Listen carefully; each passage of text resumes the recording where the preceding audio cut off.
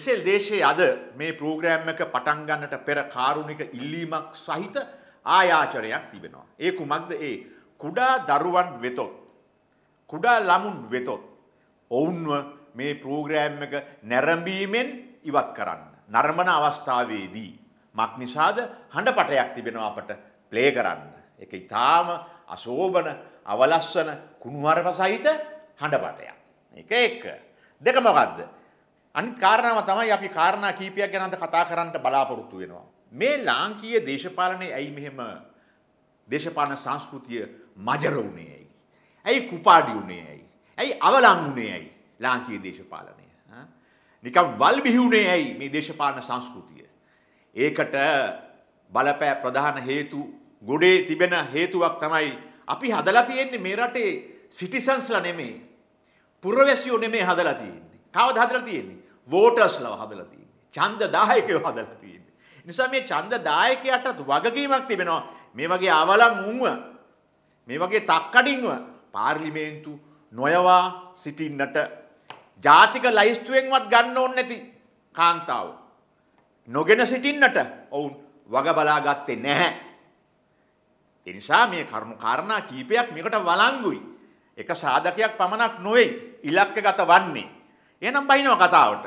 අපි මෙතන අද ඩයනා ඉන්නවා, ජීවන් තොණ්ඩමන් ඉන්නවා. අපි ජීවන්ගෙන් පටන් ගමු. ජීවන් තොණ්ඩමන්ගෙන්.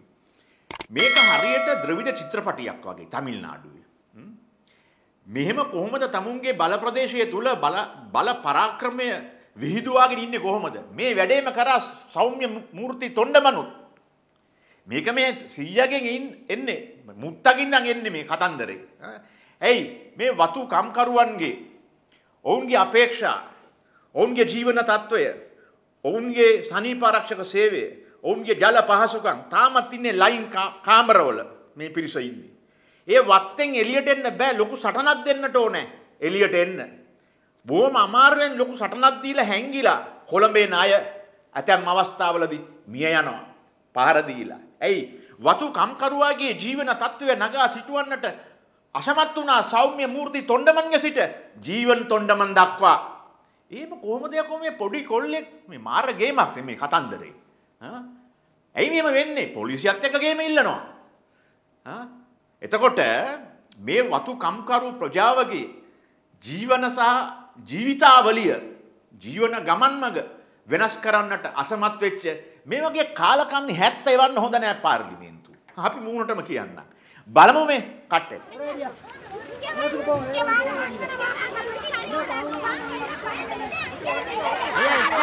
එයා දාන්න එපා. හරි.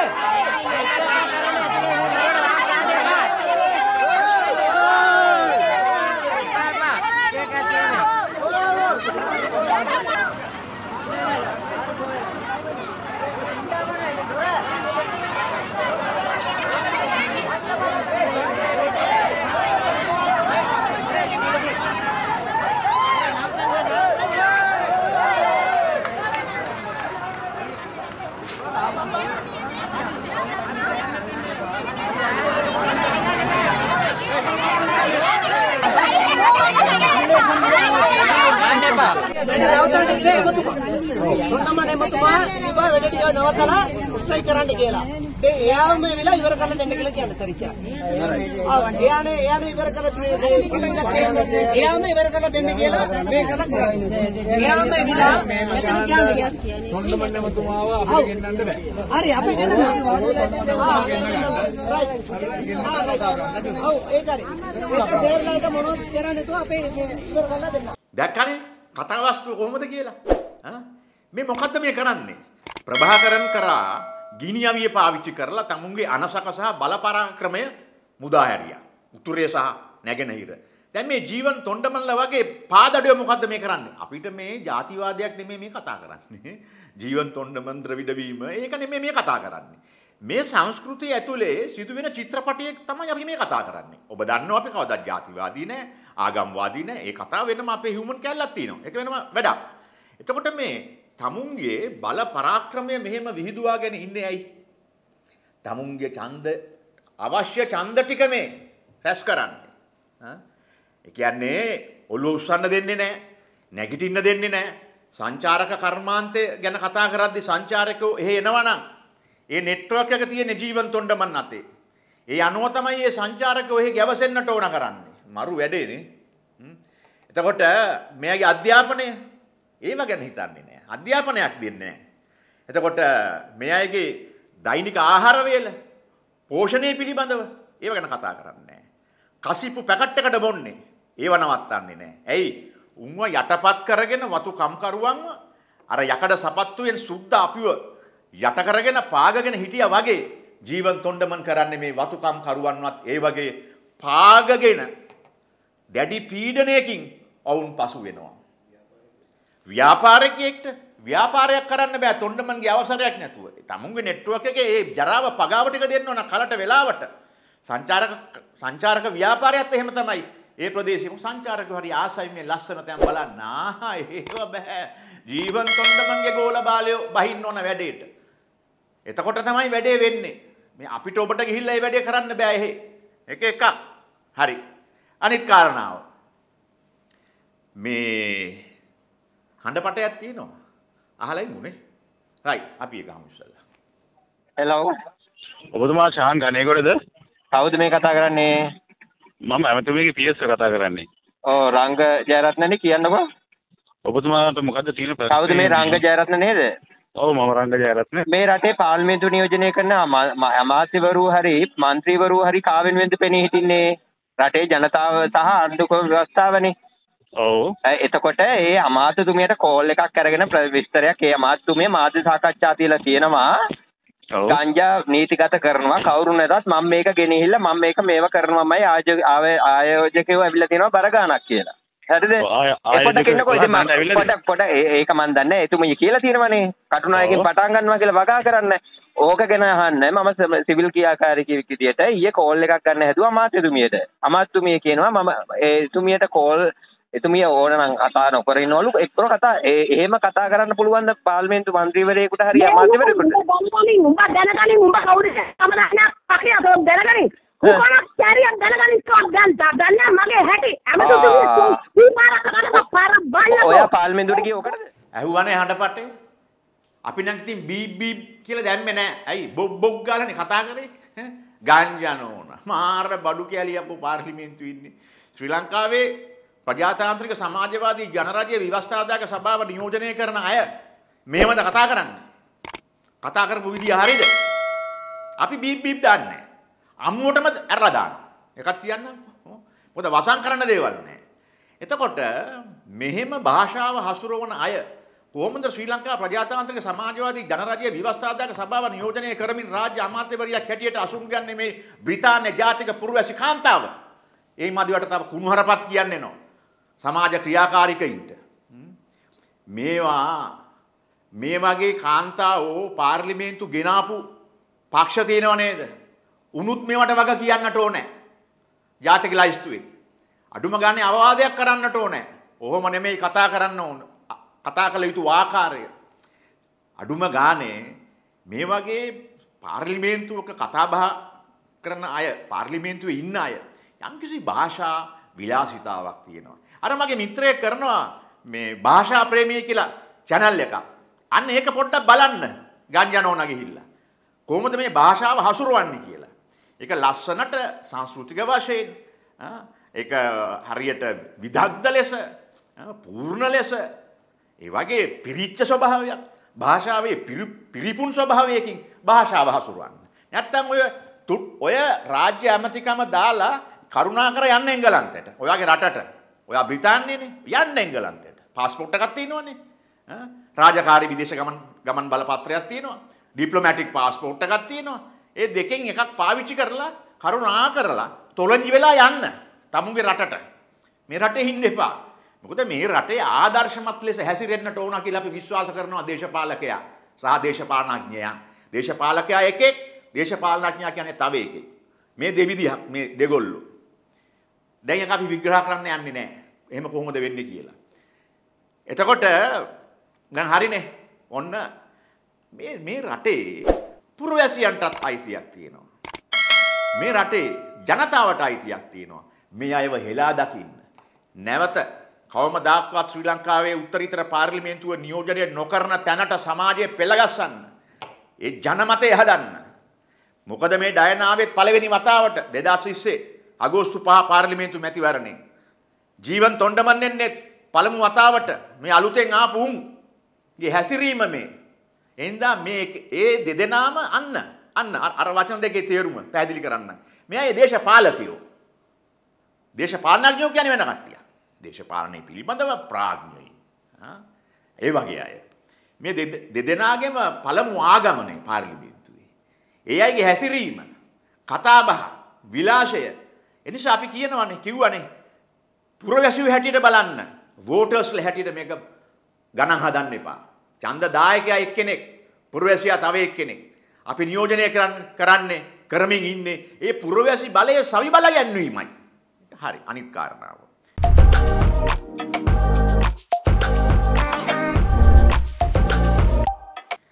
පොලිස් කෝමිසම මතක හැටියට ඩලස් පාර්ලිමේන්තුවේ කිව්වා පොලිස්පති නැතුව දින දින 12ක් කියලා. මේ මේ පොලිස් කොමිසම ගැන කියන්න හේතුවක් එනවා අපි අර අන්තිම ප්‍රෝග්‍රෑම් එකේදී කාදිනල් උන්නාංශ ගැන කිව්වනේ. එතනට එන්න තමයි මේ පොලිස් කොමිසම ගැන අද මේ කතාව කියන්නේ.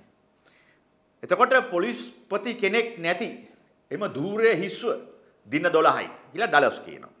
කවුද මේ පොලිස් කොමිසමේ ඉන්නේ? ලලිත් ඒකනායක. සීනියර් DIG හිටපු ගාමිණී සිල්වා. රේණුකා ඒකනායක SLS එකේ. කියන්නේ මේ රාජ්‍ය පරිපාලන සේවයේ. ඩිල්ෂාන් ජයසූරිය. කනකරපිල්ලේ කරුණාකරන්. ඔන්න ඔය පස් දෙනා තමයි ඉන්නේ. ඊයේත් රැස් වුණා මේ කොමිසම. අදත් උදේ 9:30ට රැස් වුණා.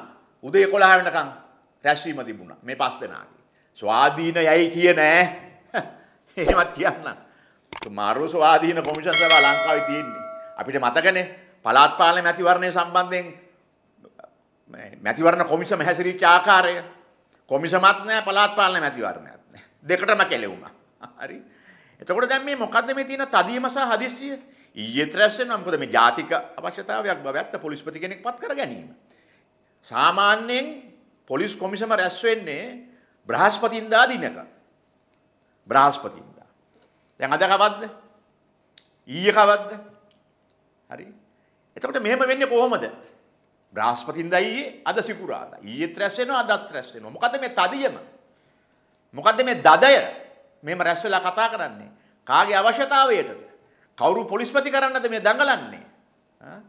අනාගතයේ දවසක අපිට බලා ගන්න පුළුවන් වෙයි මේ කොමිසම ගත්තු තීන්දුව මොකක්ද කියලා අනාගතේ නිදොස් කොට නිදහස් කරයි ඇතැම් විට පට්ටපල් දූෂිතයින් අපරාධ සම්බන්ධයෙන් චෝදනා තිබෙන අය පොලිස්පති කරන්න තමයි මේ දඟලන්නේ.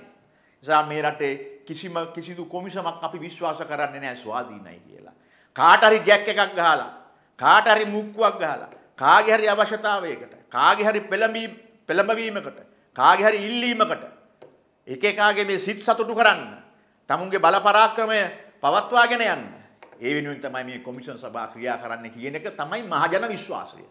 අපි නියෝජනය කරන්නේ මහජන විශ්වාසයේ ප්‍රකාශකයෝ හැටියට තමයි අපි පෙනී ඉන්නේ. අපේ අදහස් නෙමෙයි. මහජනතාව ග්‍රාස් රූට් එකේ මහ පොළොවේ තැන තැන බස් බස් එකේ දුම්රියේ ත්‍රිවිල් එකේ එතකොට බස් වෝල්ට් එකේ රාජ්‍ය ආයතනවල පෞද්ගලික ආයතනවල කන බොන තැන්වල මේ මහජනයා කතා කරන්නේ මුන් එක එක්කවත් ස්වාධීන නැහැ. ඒකේ ඒ මතේ අපි ප්‍රකාශකයෝ මමයි. මහජන මතය.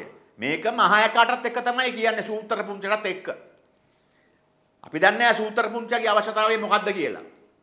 කවුරු හරි කෙනෙක් අපි අන්තිම ප්‍රෝග්‍රෑම් එකේදී කිව්වා පත් කළ යුතුයි පොලිස්පති හැටියට. ලැජ්ජයි මේම රටක අපි ඉන්න ඉන්න එක සම්බන්ධයෙන්. මොකද දැන් අපිට අපිට දැන් යුරෝපෙට යන්නත් බෑ මේ සටහන් කරුට. ඇයි ට්‍රැවල් බෑන් එකක් තියෙනවා වීසා එකත් එක්ස්පයර් වුණා යුරෝපෙට යන්න. හරි. ඒ අර රන්දෙනිගල සිංහයා සයිබර් ක්‍රයිම්ස් එකේ මට අරපු වැරිල්ල. ඒ ප්‍රශ්නයක් නෑ. අපි තරහ නෑ. ක්‍රෝධයක් නෑ. වෛරයක් නෑ. කවදාරි හම්බෙන්නේ ගහට ගහක් ඔය හරි නේ. එදාටත් අපි මේ විදිහටම කියනවා. පුතෝ. ඒකත් මතක තියාගන්න. හරි. දැන් ඉතින් එනවා කාදිනල් උන්නාසේ කතාවට. අවසාන ප්‍රෝග්‍රෑම් එකේදී යම්කිසි සිත් ඇවුලක්. යම්කිසි සිත් වේදනාවක්. යම්කිසි සංවේගයක් ඒ අවසාන ප්‍රෝග්‍රෑම් එකේ කාදිනල් හිමිපාණන් සම්බන්ධයෙන් කළ ප්‍රකාශය සම්බන්ධයෙන් සිදු වුණා නම් සිත් ඇවුලා. අපි සමාවයි දිනවා. ඒ වගේම අපේ කනගාටුව අපි පළ කරනවා. මොකද මිනිස්සු වැරදි හදා ගන්නවා මැරෙනකම්. අපිත් එහෙම තමයි. එතකොට අර කාදිනල් උන්වහන්සේ ප්‍රෙස් එකේදී අර අපි කමෙන්ට්ස් දැක්කා. මේ පුද්ගලයින්ගේ නම් කිව්වේ නෑ කියලා කිව්වනේ. කමෙන්ට්ස් වල තියෙනවා ඒවා. මේ තියෙන්නේ ස්ටේට්මන්ට් එක. මොකද්ද? Malcolm cardinal Ranjith. මේක තියෙනවා ඩිස්ක්‍රිප්ෂන් එකේ බලන්න පුළුවන් පිටු පිටු තුනක කතාවක්. එතකොට මේකේ මෙන්න මෙහෙම කියනවා. මේක ලියන්නේ කවද්ද? උන්වහන්සේ 2023 ජුනි ජුනි මාසේ 26 වෙනිදා. මේ මේ මේ ස්ටේට්මන්ට් එක ඉෂු කරන්නේ නිකුත් කරන්නේ 2023 ජුනි 26 වෙනිදා. මොකද මේක කියන්නේ බලන්නකො. අර නම් කිව්වේ නෑ කියලා කියන කියනවනේ උන්වහන්සේ. වත්මන් පොලිස්පති චන්දනඩී වික්‍රමරත්න මහතා වෙත ලබා දී ඇති සේවා දිගුව 2023 ජුනි මාස 26 වන 26 වැනි දින නිමාවට පත්වන බවත් ඒ අනුව ඉන් අනතුරුව ඉහත සඳහන් ධූරය සඳහා පත් කිරීමට යෝජිත නම් අතර ජ්‍යෙෂ්ඨ නියෝජ්‍ය පොලිස්පති පරිපාලන නිලන්ත ජයවර්ධන. අන නම් කියලා තිනවා උන්වහන්සේ. ඊට පස්සේ කවුද? සහ බස්නාහිර පළාත බාර ජ්‍යෙෂ්ඨ නියෝජ්‍ය පොලිස්පති දේශබන්දු තෙන්නකෝන් යන මහත්වරුන්ගේ නම් ඉදිරියෙන් නැති බවත් විවිධ මාධ්‍ය වාර්තා මගින් ඉස්මතු කොට දක්වා තිබේ. මෙන්න මෙහෙම හොඳ ෂෝ කොටසක් තියෙනවා. ඒක කියවන්න. මේක අපිට වැදගත්. ඔබටත් වැදගත්. 2019 අප්‍රේල් මාස 21 වන දින සිදු වූ බෝම්බ ප්‍රහාරය සම්බන්ධයෙන් පරීක්ෂා කර හොඳට අහන් ඉන්න. පරීක්ෂා කර විමර්ශනය කර වාර්තා කිරීම සහ අවශ්‍ය ක්‍රියාමාර්ග ගැනීම සම්බන්ධයෙන් පත් කළ කොමිෂන් සභාවේ අවසන් වාර්තාවෙන් පැහැදිලිව දක්වා ඇත්තේ ජේෂ්ඨ නියෝජ්‍ය පොලිස්පති දේශබන්දු තෙන්නකෝන් මහතා පාස්කු ප්‍රාරය පිළිබඳ තමන් ලද පෙර තොරතුරු ඉදිරියේ හුදෙක් පනිවිඩකරුවෙකු ලෙස පමණක් කටයුතු කර ඇති අතර.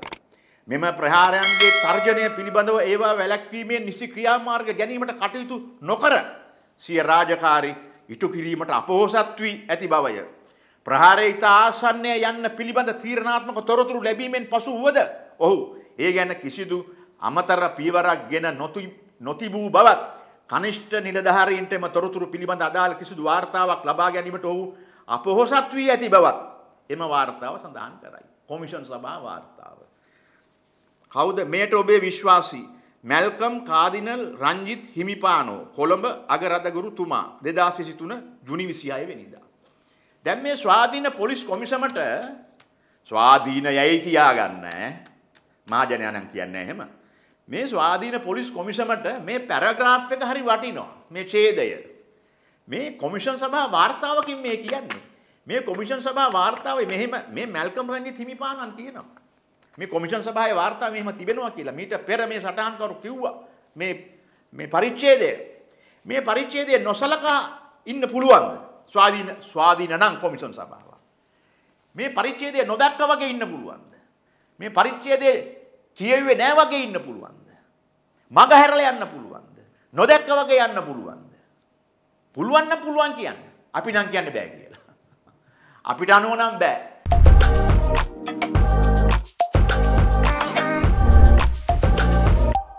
අපි යෝජනා කරනවා පුරවැසියෝ හැටියට. නිරායුධ සිවිල් සමාජ ක්‍රියාකාරකීන් හැටියට.